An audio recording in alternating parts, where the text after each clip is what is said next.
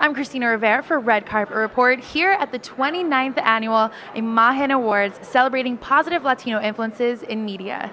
Hi, Stephanie. It's so nice to meet you. I'm Kristina. Kristina, nice to meet you. Incredible. Thank you very much. What are you wearing? Um, I believe this is. Do you want to look? I'm like, can I peek at it? Yeah. This is incredible. I can't see it.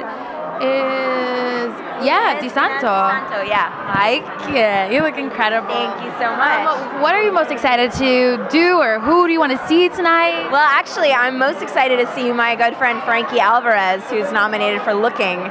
Um, we did a play together a few years back. I think it was 2011. It was Shakespeare, and he played my younger brother.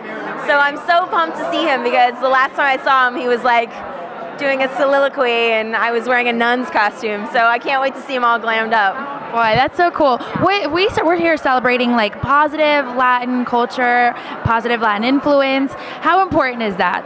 It's hugely important. I think that the um, the influence that Latinos have on the media is it should not be it's, it, sh- it shouldn't be overlooked. Um, and I think that the world is it's just changing. You know, the world is changing. We're no longer interested in seeing stereotypes on television and film.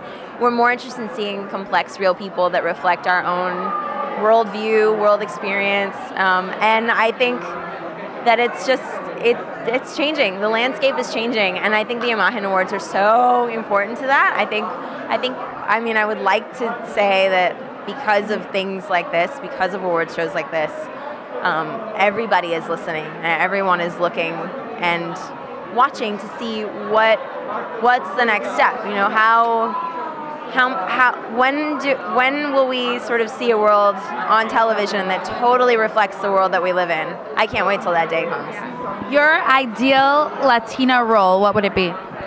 I think my ideal Latina role is pretty close to actually what I get to play right now, which is a badass cop on a TV show um, who she's a really strong female character. She doesn't take anybody's BS.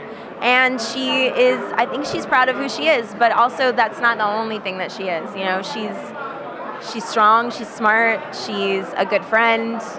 Those are the kinds of roles that I think are the most important to see on television. As like for myself, when I was a kid, if I had seen a character like that on TV, it would have felt so good because she's not.